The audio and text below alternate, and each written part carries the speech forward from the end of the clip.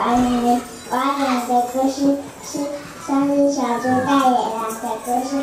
从前，从前，猪大哥盖的茅草，大眼睛来了说：“我要拆掉你房子。”他赶，他了，快跑跑跑，跑到猪二哥的房子。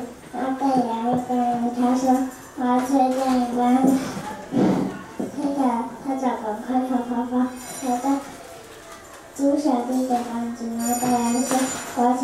但是呢，这个八十吹不倒，我一定会吹倒的，还是吹不倒，